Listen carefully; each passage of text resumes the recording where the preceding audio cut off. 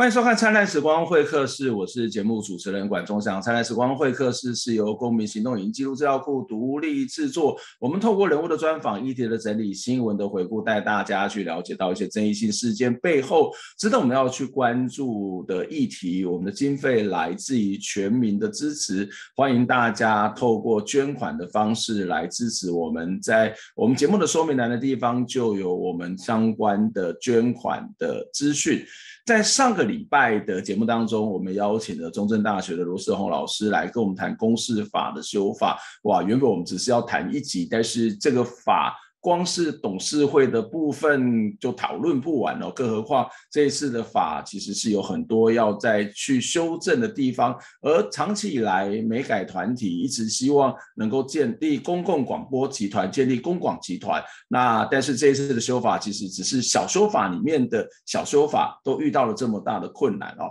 所以。这一集的节目当中，我们要继续谈公共电视法修法的问题。待会会请罗世荣老师先就国外他们在公共电视董事的选任，他们实际的做法是什么，而现有的这个法规当中有什么问题，在这一次文化部提出来的法案有什么不足的地方，我们待会会来请罗胜文老师来在这一集的节目当中持续跟我们讨论这样的一个话题。世宏老师你好，啊，关老师你好。谢谢世宏老师再次接受我们的访问哦。上一个礼拜我们在谈这个话题的时候，实在是意犹未尽哦。这时间呃真的是有限，所以我们必须要把很多的讨论再挪到这一周来继续的谈。那在上礼拜我们其实大体上来讲去谈的这一次公共电视法修法。这这个面向其实非常广，但是我们只有谈到了有关董事会组成的部分。简单的说，我们看到这一次的董事会的组成大概有三个重重要的一个面向，一个就是把这个董事会的这个人数呢，从最高二十一人再回到原来的十五人，再来就是董事会的这个提名的。啊，提名审查方式呢，从过去的有审查委员会的四分之三降为三分之二。再来第三个就是有关于公司董事长，呃，就由行政院来直接从提名的时候就已经指定说谁是董事长，然后再经过审查委员会来进行这样的一个审查哦。那在上一周的节目当中，我们也稍微跟大家谈到了在。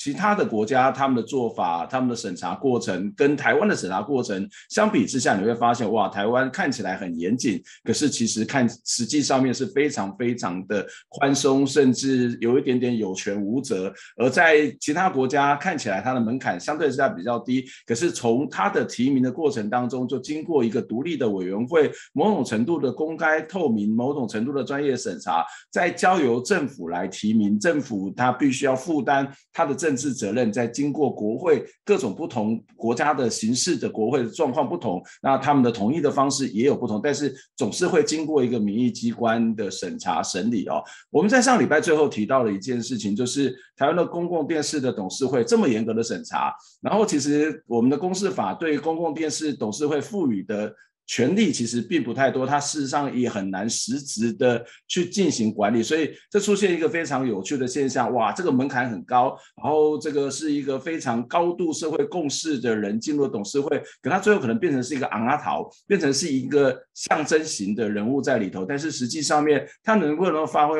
专业，或者是他跟公共电视实际的成员当中，他们怎么去相互合作？当然不是说董事会你要去干预到他的专业团队的运作，而他。基本的权利跟责任之间是有很大的落差，所以我想要请教罗老师哦，就是我们在上礼拜提到有些国家，他们事实上是有呃所谓的有几职同事，也就是我们过去也曾经讨论过所谓的常务董事，就是他是有几职，但是他同时要去负担更大的这个责任。那这个是有些国家这样子做的，但是在这次的修法当中，其实比较看不到有关于这些董事会相关权责的这个讨论嘛？嗯，这可能是国情的关系了哈。嗯，呃，其实其他国家的董事长，包括董事长大以及董事，大部分都是叫做非执行董事，嗯嗯，也就是也就是他其实是一个兼任的性质，嗯，那董事长的话，大概是会被要求说每周至少要为，比方说 BBC 工作三天，嗯，那事实上他还有别的事业或者是专业，他不是一个退休人士。或者是可以完全放掉他的本业去当专任的公司董事长，不过台湾的制度当然就是说，台湾的董事长是专任，也就是说没有其他的专业事业跟本业，那是专门就未来的这三年来担任公司的董事长，这这是制度的问题啦。那这个部分大概要改也不太容易啊，哈，所以其实是可以维持。那不过就是说，其他国家的还有一些非执行董事是每周为公共电视工作一天到两天的。这种呃，可能用台湾的概念，可能叫常务董事哦。对。那那呃，就就是他不是只有来开董事会，他其实是有协助平日的一些治理工作，比如说有财务专长的，或者有这个这个新媒体专长的等等，他就会去协助公司，一方面协助，一方面监督，然后参与这个集体治理的这个工作。那台湾的话，所有的董事都是除了董事长之外，都是无级职，都是兼任无级。兼任，对对。那这个当然有一个问，是两千五两千的出出席。对对。当然，台湾的这个会有一个先天限制，是说其实董事长就会变成是大家在呃会呃，就是说虽然他们经过一样门槛的审查的通过董事。但是互选产生出来的董事长其实选择很少，就是说可能从中选择可能可能是最年高望重的，对不对？嗯，或者是已经退休的，他没有，反正他没有别的工作，没有别的专专职工作，所以他可以来当董事长。嗯，那所以大学教授就不能去当董事长的时候，同时担任大学教授，或者是说像这个民间企业的这个这个董事长，可能就不能去兼任公司的董事长。这个其实，在国外这个是很普遍的啊，因因为适合的人选可能不见得是是呃能够去专任的啊，嗯，他不可能放掉三年去当公司董事长，嗯，所以呃不过这个呃话说回来，台湾大概比较难去推动这部分，所以暂暂时就讲到这边。那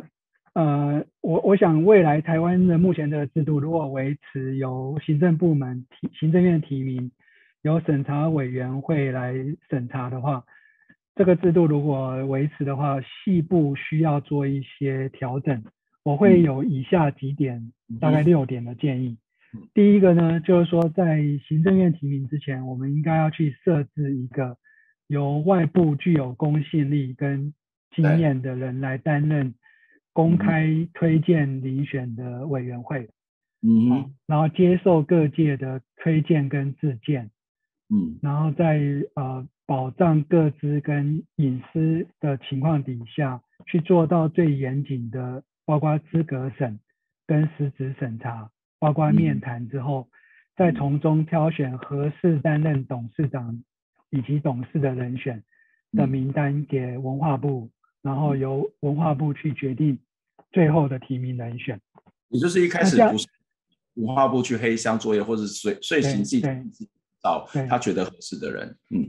对对，至少是他能够扩大这个参与圈，而且不会是由文化部限于他们，或者是行政院限限于这种有限的这个人际网络去寻找他们认为合适的人选，而是向全全社会在征求适当的人选。那所以可以自荐，也可以推荐。然后经过这个具有公信力的外部审查委员会的遴选之后，向行政部门推荐合适的名单，然后行政部门还可以再从中去选择他们认为最适当的人选，然后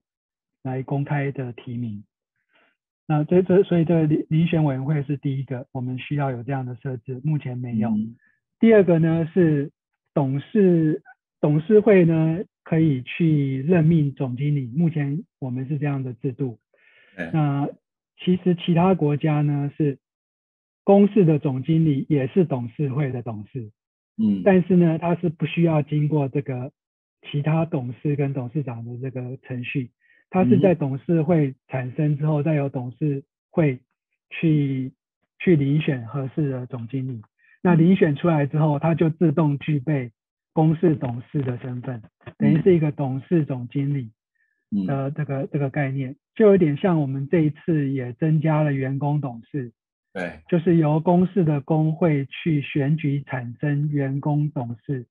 那这个员工董事是不需要由行政院提名，也不需要由审查委员会来审查的，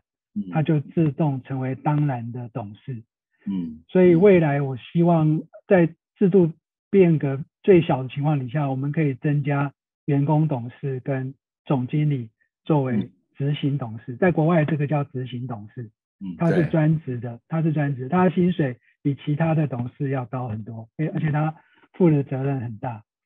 那呃，好的地方就是不会跟实脱节了，或者是原则之间，你担任董总，你也会知道你是董事，所以大家会跟董事会可以了解这个公共电视这个这个公司这个这个组织是怎么运作的。那那个是监理的过程也会比较更细致一点。也就是说，董事会的职权呢，就会变成像是兼具治理跟管理的这个能力。嗯，那因为因为过去其实国外也做了很多制度的变更哦，呃的的这些变革，呃也做了很多调整。那其实就是要避免说董事会太脱离实际状况，对，或者因为他们毕竟不可能每一个人都了解媒体的专业，也不需要了解媒体的专业，所以需要有内部的人员来参与。我再多说一下，以 BBC 的来讲的话，它十四位董事里面有四位事实上是。BBC 内部的人产生的，嗯，就是由 BBC 的董事会在女王任命之后，由这个董事会自己去去找这个执行董事，包括总经理，还有这个像目前他的四位四位执行董事，包括总经理是当然的董事，嗯，另外还有包括目前的话是这个营运长，现任的营运长也是董事，还有现任的这个内容长。以及现任的新闻总监也是董事，那他们就有三分之一的比例耶，这个其实是非常对，还对将将近三分之一，对，不到三分之一，这样就可以让这个治理跟管理其实融为一体。对，然后但是董事长跟董事呢，其实是随时可以解任总经理或其他三位执行董事，如果认为不适任的话，那他就会呃能够去重新找合适的执行董事。好，这这个因为跟台湾的制度差距比较远，我就不多说。那所以第三点呢，就是说我们目前行行政院的这个修法是会增加一名员工董事。对，如果修法通过的话，我乐见可以有这个员工董事。第四个修正呢是说，行政院在提名的时候要指定董事长的人选，这不是直接官派，那指定人选他还要经过审查。对，然后。而且是更严格的审查，所以如果不适任的人选，反而不会稀里糊涂的通过之后，然后不小心就变成董事长，嗯，那没有任何外部的这个监督哈，所以其实大家不用担心，而且这是全世界的一个主流的制度。那第五点的改革，我认为就是说这次修法也是一样，就是说把这个同意审查委员会的同意门槛从四分之三降为三分之二。那这仍然是全世界最高的门槛，嗯，所以呃还是会有一定的难度跟严谨度，所以也不会随便通过。特别是董事长如果事先就公告人选的话，他能够得到比较严格的检视。嗯，那但这个审查委员会，我会建议说，审查委员会的这个社会公正人士应该要有一些客观标准。嗯，当然这个客客观标准是什么可以讨论，不过我个人认为如果跟政党呃本身是党职人员或者是公职人员，可能就不见得合适。因为如果党职人员跟公职人员也是社会公正人士的话，那那全社会就没有不是公正人士的人了哈。嗯。然后第六个的话是第六个建议是，董事长特别是董事长的部分应该要进行辞职审查，在提名之后，应该审查委员会要有一个。询答的这个过程，嗯，要有一个询答的过程，而不是说在还没有看到人选，只看到书面资料的情况之下，匿名投票，不管是赞成或是或者是不赞成，外界其实不清楚这个人为什么可以当董事长，或者这个人有哪些呃有哪些呃能耐，或者是有一些部分是被质疑之处，未来还要被检视。甚至他在被询答的过程当中，他还会公开做一些承诺，对，他会做一些承诺，外界就可以去检视说，未来他在治理公共电视的时候，他有没有做到这些承诺。所以这个六点建议，我觉得是很重要的，这才能够让台湾能够产生一个四格四任，然后有能力，然后反映多元性，而且能够对外界负责，能够跟社会各界沟通，代表全民的这个多元性，然后能够适当的去监督公共电视，提升公共电视的一个董事会。嗯哼。嗯，我想这这其实仅止于在公共电视董事会的一个选任的标准啊，当然这也是可能是一个呃公共电视的或者公共公网集团一个一个首脑，或者是这个脑要跟身体的各个部门。怎么去连接？特别是你刚刚谈到在英国的例子，有部分的这个董事其实是由员工来担任，或者是员工经过一定的过程，他就在董事会里面，他是可以让那个治理这件事情是更能够贴近到实物上面哦。不过，就像我刚刚谈到，他他其实也只是一个公共电视董事会的。法的这个修法，但是公共电视法还有很多很多的部分要去做讨论哦。我们先休息一下，我们回过头来再来跟世宏讨论这次公共电视法修法还有哪些值得我们要去关注的问题。特别是我们看到公共电视有很多的工作，它其实开始正式化，就是纳入到法规里头，包括有关于国际的或者是族群的。那但是经费上面会不会因此而变得比较多呢？如果经费不够，巧妇也难为无米之炊的说法，会不会也会在公共？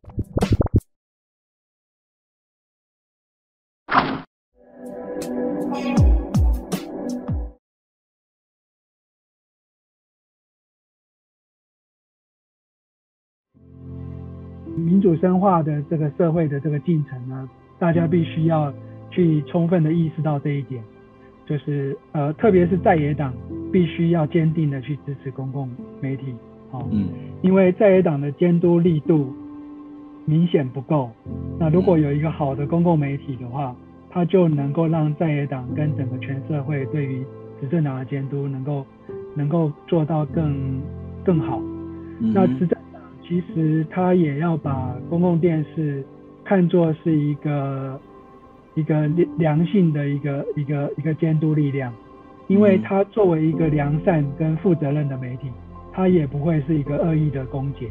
那事实上，现在的商业媒体可能就会有政党偏向，那甚至他会恶意的攻击你，或者或者是协助传播不实的讯息。那在这个情况底下，反而有一个。真正具有独立性，然后受到社会信任，在野党也会支持跟肯定的一个媒体，其实是国家之福。它既不是执政党的，也不是在野党的，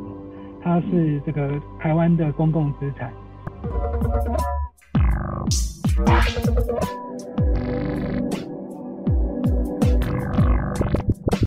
欢迎回到《灿烂时光会客室》节目的现场，我是主持人管中祥。《灿烂时光会客室》是由公民行动营记录资料库独立制作。我们的经费来自于全民的支持，欢迎大家透过捐款或者其他的方式来支持我们。我们的捐款的方式在我们节目的说明栏，不管你是在听 Podcast 或者看 YouTube，或者是看我们的脸书直播，在说明栏的地方都有我们捐款的方法。也请大家可以透过呃小额的捐款或者是定期定额的方式来支持我们。那今天的节目要跟大家延续谈上礼拜谈过的公共电视法修法的问题，而在一段节目，我们大体上面已经把公共电视董事会的部分做了一些梳理哦，我们花了两集一集半的时间，可是它其实还只是公共电视法修法的一小部分。我要再回过头来请教罗世宏老师相关的问题，世宏老师你好。啊，是好。我我们上半上半部虽然谈的公共电视的修法问题，其实另外一个公共电视能不能够好好运作的关键在于经费哦。我自己之前曾经写过一篇文章，我就说台湾的公共电视沦为政府的打工仔哦。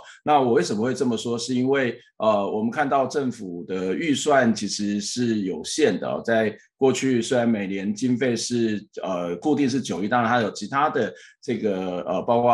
呃客家电视的经费加起来等等啊。那可是我自己做了一个简单的统计，我发现这些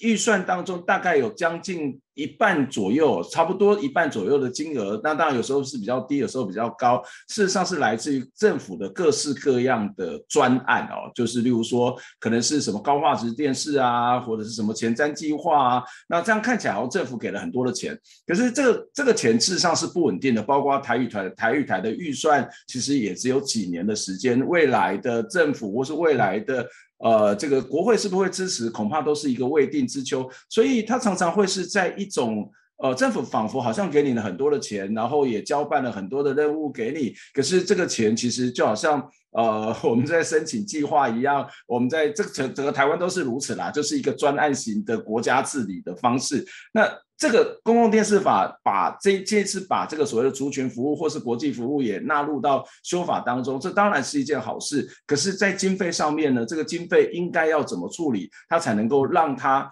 呃，在一个稳定的经费，而且经费是一个独立的情况之下来做好它的公共服务呢？经费的问题真的很重要。世界各国呃成功的公司有很重要的一个条件，就是人事的独立性跟专业嘛，而且具有多元代表性。另外呢，就是呃公公司法的保障之下，它的经费是充足而且稳定。台湾的公共电视的经费既不充足，呃呃也不能不能说不稳定，但是这个就是说，就呃它很稳稳很稳定的稀少的经费哈。而且其实那个充足恐怕就像我刚刚讲的，有一半左右都是用专案，这个专案其实。不只是经费不稳定，它甚至也可能是政府在引导，或甚至在控制公共电视的运作啊。对，现在公共电视呃一年的这个常态预算，就每年一定会有的是九亿元，但是人事费事实上已经占了将近八亿元，所以真正能够用来制作节目、提升品质跟多做更多的这种多元服务、创新服务的这个经费，确实是少得可怜。嗯哼，当然，在实际上，呃，文化部是想方设法的去增加一些呃额外的特别预算给公共电视，像是前瞻预算，像是设发预算，或者是像高画质五 G 的一些计划，就是委托给公共电视或者用补助的方式来增加公视的这个运作经费。那但是这个并不是一个好的方法。好，因为这首先就是它不稳定，有时候有，有时候没有。那公共电视没有办法再建立在有时候这个有经费，有时候没经费的基础之上去运作。第二个就是说，正如关老师所说的，这些经费因为是由行政部门去额外的补助或者是委托，那就会变成是一个一个客户跟打工仔的这个这个关系嘛，哈。就会变成呃，当然我们的行政部门，特别是文化部是很节制。不过呃，在这个标案的过程或者是委托的过程当中，难免仍然会有一些这种审查的这些程序，可能会影响公共电视的自主性跟独立性。我想是难免会有的。那比较好的做法，当然就是要增加公共电视的经费。那这一次呃。我们的公共电视的经费在过去呢，就是因为每年只有九亿，而且是不能超过九亿。嗯，因为公示法在定当年在定的时候是，一开始是给十二亿，然后甚至条文上面有规定说逐年必须要递减，也就每年减百分之十。过去，嗯，对。那到了第三年的时候已经减到九亿了，那公共电当时的公共电视的呃董事会。发现说再减下去的话，公共电视就要喝西北风或关门大吉了。嗯，所以特别去拜会这个立法院的朝野政党，请他们能够去解除这个逐年递减的这个规定。那因此就固定在九亿，后来也就没有增加，这就变成是公共电视经费的上限。嗯，这一次行政院呃文化部的这个修法是把这个上限解除，也就是说以这个为下限。未来行政部门给公共电视的经费不能低于前一年的这个常态常态预算，嗯，那我们可以理解成就是说每年不能少于九亿，而且每年要要增加，至少要比前一年更增加，这算是一个很大的突破。不过呃，跟当年公共电视的规划来讲，其实还有很很大的一段距离啊。公公共电视当年的规划是，我们的公共电视至少是六十亿的规模，每年六十亿的规模，而且这是三十年前的这个物价水准。所以其实呃，我们的部长文化部长也承认说，其实公共电视需要的经费，每年比较理想的情况底下，应该是六十亿到一百亿。对，这是李永德部长也曾经有这样的一个说法。对，那其实世界各国的公司，呃。英国 BBC、NHK 我们就不要谈了，因为他们的经费真的是太多了。那加拿大两百倍了。对，那以以我们邻国来比的，或规模比较相等的这些国家来比的话，其实我们也输人家很多。嗯，加拿大、澳洲也是每年有几百亿台币的经费。嗯，那韩国也有每年几百亿的经费。嗯，那香港的这个 RTHK 其实它是。政府的这个电台当然有一定程度的公共性，它的经费应该讲以前，对它的过去有一定的公共性啊。那它的只是一个广播电台，它的经费都比我们的所谓的公广集团要来要来的多，所以我们真的是少的可怜。那文化部长透过这一次的修法，他也承诺就是说，未来公司法修法，因为会包含国际传播的这个部分，所以现在的这个。呃，国际影音平台的这个经费，未来就会变成是公司常态经费的一部分。这个每年大概有十六亿，嗯，再加上公共电视目前的九亿，客家电视台的三亿，然后有线广电基金提拨的一亿，啊，还有一些其他的这个特别的预算，目前呃照编的这个部分，大概每年未来会有超过三十亿，嗯，的的公司的预算，其实。呃，政府没有多花钱呐，只是过去列在不同的项目里面。那但公司拿到的钱还是大概三十亿，但是这个钱是常态经费的话，常态预算就会比用标案的名义或者补助的名义要来得好。而且其实应该入法保障了。嗯，对。那理想上的话，如果他未来在这个法通过之后，他就编三十亿的话，这个一定程度会有一点保障，因为公司法会规定说。不能低于前一年的这个常态预算，所以如果明年度我们编三十亿，那后年大后年就不会少于三十亿，嗯，可能就会形成一个良性循环，逐年增加的这样的一个状态，嗯，我乐见这样的一个发展。虽然我会认为行政部门应该要勇敢一点，比方说在这个通过这个公司法之后就编六十亿，回归到三十年前的这个水准，那这样可能让公司在做各项服务，包括国际传播、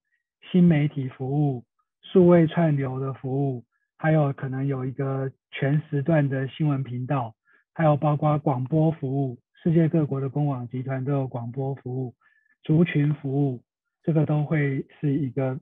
在一个比较充足的经费底下去把他们该做的事情做得更好。呀，这其实呃，就像刚刚罗老师提到，他其实在现有的预算上面其实都已经编列，但是因为啊，你用专案用补助，事实上不只是不稳定，也同时也可能会造成各式各样的操控的疑虑哦。那何不把这些钱根本就是很明确的啊，放到公司法里面，它还会经过立法院或者是公共的监督，这个才是一个比较正常的运作的方式。当然不是说公共电视的经费是不可以调整，有些国家它还会依照物物照依照这个物价指数。或者是会看到，呃，透过一个所谓的社会评量的方式来去参考社会对于公共电视的反应来做预算的这样的一种各种不同的考量。但是最起码那个经费补足上面、经费稳定上面、经费呃入法上面，这是一个很基本要做的事情哦。当然，这个也只是在经费的部分。其实从呃过去几年十几年来，公共电视法修法，特别是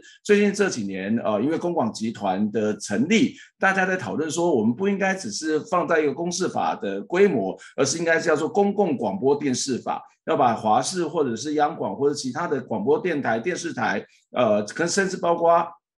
可能教育电台，都应该要纳到这样的一个法令里面去做一个整体性的这种规范跟治理，所以也就出现所谓的大修法跟小修法的争议哦，或者是也不是争议啦，就是一种讨论。那当然在这次可以看到是小修法里头可能是。更小的一个修法都已经有这么大的难度了哈，那更何况那个大修法可能是很大的困难。可是如果只是做小修法，那我们是不是永远都在这样一个规模底下，没有办法达到真正刚刚谈到一个公共广播这个比较整体性的服务上头呢？对，您说的没错，就是呃，真正的数位汇流时代的这个多元媒体服务呢，已经不局限在电视，也不局限在广播。而是这个整个公共媒体的各种多元服务跟创新服务，比如说 Podcast，比方说这个这个呃增加一些直播的服务，或者是像是这个呃 OTT 串流影音的服务等等哈。那所以呃真正的大修法，甚至连法规名称都会改变，可能不不是只叫公共电视法，也不是公共广播电视法，而是公共媒体法。公共媒。体法，那呃呃，包括因为媒体的形态不断在变化，未来的媒体对，所以只要是媒体，那当当民众有任何资讯娱乐的需求，那公共媒体集团就应该要提供优质而且具有公信力、具有独立性，能够增进我们的创意文化产业跟我们的民主政治深化的这种各类型的媒体服务。嗯，我我们在这个过程当中，你也看到，呃，这个修法面临到很多难度，但是不容否认，其实有些部长其实是还蛮认真的啦。包括这一次李永德他愿意把这个案子提出来，或是过去我们曾经接触过的郑丽君，包括龙应台，他们事实上也在公共电视法上面其实也很用心在去推动。可是为什么这十几年来他都？一直原地踏步不动，不往前。它真正的症结是在哪？就是我们的文化部看起来也不是不用心，甚至也有更多的部长是更积极在这部分推动。但是为什么推动公共电视，即使是那个小修法中的小修法，都是这么的困难？对，我想这个是蓝绿政府的共业，就是说，当当蓝营执政的时候，呃，执政党内部不要说在野党，执政党内部也不见得都支持修法。那同样轮到绿营执政的时候，法案都还没有送到立法院，可能就已经难产了哈，在在行政院就就没有往下走了，所以其实是很可惜。那因此这个事情不只是要在野党支持，也要执政党真正有这个公共媒体的这个愿景，能够愿意大公无私的来推动公共媒体的发展。我想公共电视有一个先天的这个这个呃。特性就是说，当它规模越大、能力越强的时候，其实它就能够做好更多事，包括监督政府。嗯，监督政府。所以可能我们的政府还没有习惯让媒体做一个呃非常非常那个严谨跟透明度的这个监督，或者是他们也不太愿意我给预算给你那么多，然后你回过头来监督我。我觉得特别是他他认为对这个预算是他编的。对，那这个法是他通过的，但是在他执政的时候，这个公共媒体集团、公广集团会回头来监督他，他可能还不习惯这件事情。嗯，不过我我认为，呃，民主深化的这个社会的这个进程呢，大家必须要去充分的意识到这一点，就是呃，特别是在野党必须要坚定的去支持公共媒体，好，嗯，因为在野党的监督力度。明显不够。那如果有一个好的公共媒体的话，它就能够让在野党跟整个全社会对于执政党的监督能够能够做到更更好。那执政党其实他也要把公共电视看作是一个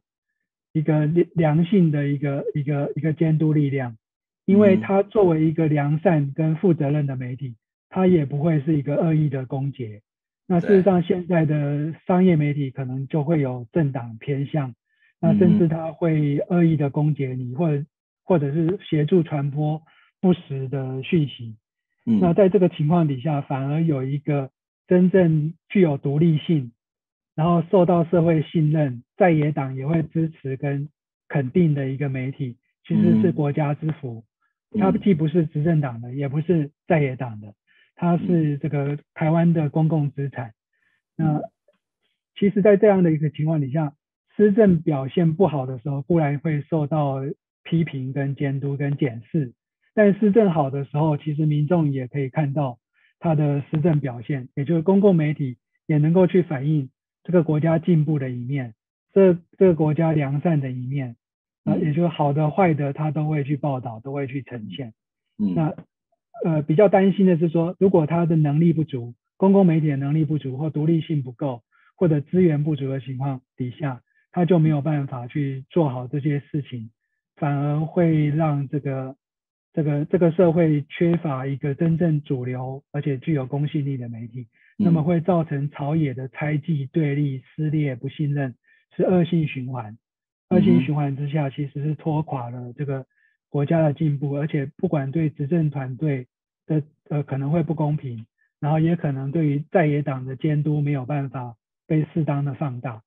当在野党能够很认真去监督的时候，如果没有一个负责任的公共媒体，事实上，这些严严肃的公共议题，可能商业媒体未必会重视，所以在野党的监督力量也没有办法发挥。嗯，我我们常说媒体跟政治是有很密呃非常绵密的关系，当当然要谈的是所谓的媒体要去监督政治，或者是要去传达这个社会里面多元政治的声音哦。那从某个角度来讲，一个国家的媒体政策也是在检视这个国家够不够民主化，或是民主化程度的指标哦。那不管这个。这个民主化，包括是这个政府、执政党或者在野党，都可以看到他们表现在这个公共广播媒体上面的建构的投入，以及他的真诚，以及他愿不愿意投入资源来做一个中立性的或者是独立性的媒体，能够回过头来监督政治部门，这其实是对他们的一个很大的考验，也是在检视他们。是不是真正民主化政党的一个非常重要的指标？如果他们还是在思考说这个公共电视是我出钱就应该要听我的话，那这个这个这个政党，这个不管是朝在野党或国党，都实际上都是一个废咖，就根本就不是一个民主化政党应该要有的表现。今天非常谢谢罗胜老师来跟我们分享这个部分。那当然要关注的不是只有这个节目，而是全民都可以或是也一起来关注公共媒体的修法。谢谢盛龙老师，也谢谢各位观众的听众的收看收听。我们下回再见，拜拜。拜拜，谢谢关老师，谢谢各位观观众，谢谢。